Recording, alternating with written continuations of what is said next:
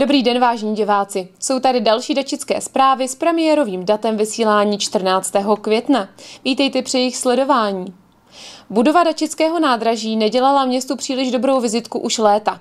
Teď ale dostává nový kabát. Komplexní rekonstrukce jsou tu v plném proudu a v nové podobě se cestujícím nádraží představí do podzima. Celá akce jde za zprávou železnic. My jsme pro vás natočili reportáž s místostarostkou Dačic Kateřinou Markovou, která je s majiteli objektu v kontaktu za město.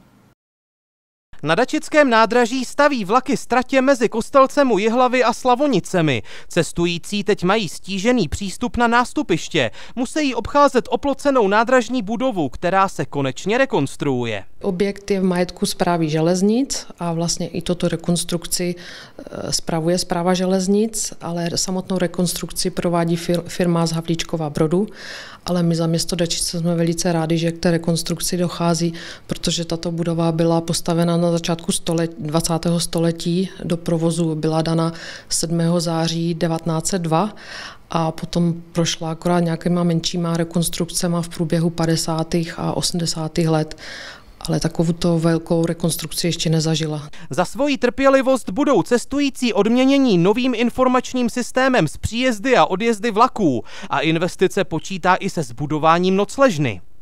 Dochází k zde rekonstrukci bytové jednotky, která se nachází v dolní části objektu nebo v přízemí a potom dochází k celkově opravě celého toho objektu té výpravní budovy. V současné době se na objektu mění střecha. Budova se ale taky zateplí, dostane nová okna, dveře nebo elektroinstalaci, včetně rozvodů vody a kanalizace. Spevní se taky povrch kolem domu, který je teď za plotem. Právě kvůli probíhajícím rekonstrukcím je nádražní objekt pro potřeby cestujících zcela uzavřený. Ta budova funguje jako čekárna, lístky se zde už několik let neprodávají, lístky se dají koupit jenom ve vlaku nebo potom nejblíž v Telči, takže to opravdu jenom jako čekárna a ještě taky zde jsou vlastně toalety. Práce na nádražním objektu běží už od podzima. Nová čekárna i sociální zázemí se lidem znovu otevřou nejpozději na konci srpna. Za všechny opravy zaplatí zpráva železnic zhruba 14 a čtvrt milionů korun. Zdačic Ondřej, Alexandr Kronika. Nákup nové cisterny pro dačické hasiče, zřízení digitálního povodňového plánu nebo třeba rekonstrukce kulturního domu Beseda. To je jenom výběr několika investičních akcí, které je radnice připravená zrealizovat hned, jakmile získá potřebné finanční prostředky z dotací. Rozvojové projekty podmíněné získáním grantů se probíraly také na posledním zastupitelstvu. Pro dačickou televizi ovšem víc prozradil starosta města Karel Macků. Zastupitelstvo města řešilo na svém posledním dubnovém zasedání mimo jiné taky investiční akce, s jejichž financováním by mohly pomoct nejrůznější dotace. V současné době má radnice na stole hned osm takových projektů. Se jedná o rekonstrukci učebny na základní škole Komenského, učebny nebo rekonstrukci učebny na základní škole Boženy Němcové. Jedná se o rekonstrukci tady té čelní e, strany nebo uliční strany eh, kulturního domu Beseda. Jedná se ale i třeba o digitální povodňový plán a o varovný systém. Peníze se město snaží získat třeba taky na nákup cisterny pro dačický sbor dobrovolných hasičů nebo na zpracování projektové dokumentace na vodovod a kanalizaci v místních části města Lipolci a Hostkovicích. Každý z chystaných projektů můžou dotační prostředky uhradit významnou měrou. Troufáme si tvrdit, že by to mohlo být někde od 50%, eh, řekněme v eh, případě dětského dopravního hřiště, až po 95% v případě těch učeben. Jestli město na projekty peníze získá, rozhodnou příští měsíce. Vybrané investice, třeba učebny na staré a nové škole, by se pak realizace mohly dočkat ještě letos. Naopak třeba úprava hřiště u nové školy by byla spíš otázkou příštího roku. Úplně nejdřív ale musí radnice vědět, jestli potřebné prostředky do Dačic vůbec přitečou. Když by ty dotace nevyšly, tak eh, celý ten seznam budeme muset samozřejmě zredukovat, protože můžeme stavit jenom to, na co máme peníze, ale myslím si, že některé z těch akcí zrealizujeme i bez dotací, protože jsou pro nás důležité. O tom, které z těch akcí by se eh, vlastně realizovaly i bez použití dotací, o tom musí rozhodnout eh, rada, případně zastupitelstvo. Zdačic Lucie Váchová. Dačická knihovna Matěje Mikšíčka má v současné době registrovaných 661 čtenářů. Právě od nich se snaží zjistit spokojenost s nabízenými službami. Veřejné hodnocení knihovny běží buď online nebo přes písemné dotazníky ještě do konce června. Pro uživatele knihovny jsme připravili dotazník spokojenosti se službami, protože nám záleží na tom, abychom splňovali standardy pro dobrou knihovnu. Je nutné jednou za pět let tento, nebo je doporučeno jednou za pět let tento dotazník eh, pro veřejnost připravit. O co se jedná? Jedná se o to, že se pod, docela podrobně ptáme na to, jak jsou uživatelé spokojení se službami, s vyhledáváním v online katalogu, s, web, s webem knihovny, s otevírací dobou a je to z důvodu toho, abychom měli zpětnou vazbu a mohli potom naše služby pro čtenáře a uživatele knihovny zkvalitnit. Eh, tentokrát jsme pro vás dotazník připravili formou známkování. Eh, máte dvě možnosti. Buď ho můžete vyplnit elektronicky na webu knihovny, což zkoušela jsem si stopnout, nezabere více než minutu, pokud tedy se nevěnujete nějakému dalšímu přemýšlení, případně písemně přímo v knihovně. Dotazníky jsou samozřejmě anonymní a pokud se nechcete v knihovně zdržovat a vyplňovat ho přímo na místě, můžete si ho vzít domů a vlastně vrátit ho při příští návštěvě knihovny. To je také důvod, proč s vyhodnocením průzkumu musíme počkat až do konce června, protože ne každý čtenář má cestu do knihovny každý týden.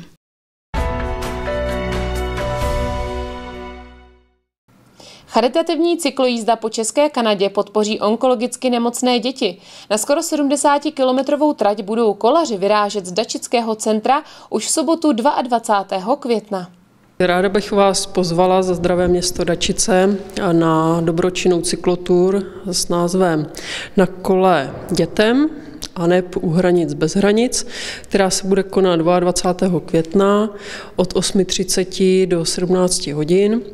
V 8.30 eh, začne registrace na Palackého náměstí. Eh, budeme vyjíždět z cyklotur eh, v 10 hodin. Takže do té doby je možné si koupit nějaké předměty z nadačního fondu Josefa Zimovčáka, který tuto akci zaštiťuje. Trasa povede v podstatě jak už z názvu vyplývá, tak kolem hranic. Bude to Želetava, Staré Hobzí, Slavonice, tak dále. Eh, trasa celá bude měřit 68 km. Eh, není teda třeba, aby účastníci jeli celou trasu, můžou se připojit eh, kdekoliv na té trase, na tom peletonu, který pojede. A samozřejmě v čele toho peletonu pojede Josef Zimovčák na Kostitřasu. Bude ho doprovázet eh, eh, herečka a zpěvačka Světlana Nálepková. A samozřejmě budeme rádi, když tuto eh, akci podpoříte a přijdete. Těšíme se na vás. Předposlední květnová sobota nabídne ještě další akci plnou pohybu. Branou podyjí proběhne tentokrát už po 32. Po celý den mohou cyklisté i pěší vyrážet z Dačic na různě dlouhé trasy. Třeba nejdelší připravený okruh má 56 kilometrů.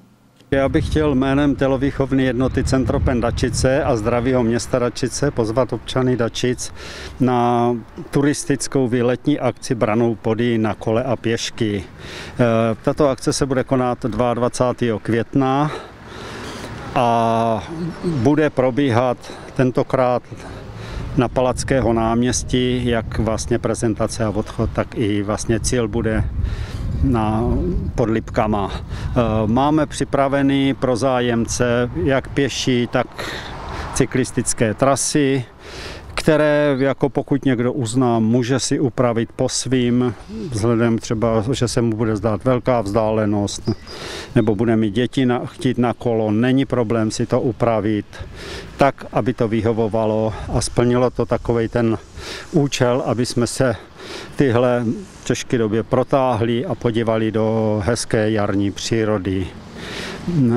Nejvíc bych chtěl jako podotknout a pozvat eh, s dětmi na takovou tu speciální dětskou trasu, kdy se pojede vláčkem do Urbanče a odsaď pěšky se půjde do Dačic s takovou mezizastávkou, kde se budou opékat buřty. Doufám, že nám to ty jako podmínky dovolí a budeme to tam se moc sejít a ten, ty buřty opéct. Tyhle mají podle propozic eh, společný sraz na náměstí a odejdou eh, v 9.40, protože asi v 9.50 jede tak nějak vlak, jo, před desátou, odjedou do Urbanče a ty jako se tam sejdou tady na tohle. Jako, a ostatní budou mít si odchod a ty zvládnutí těch tras individuálně, jak nás znají. Prezentace bude probíhat od 7 hodin, to je pro takový ty odvážnější, kteří by si chtěli dát trasu 35 kilometrů pěšky,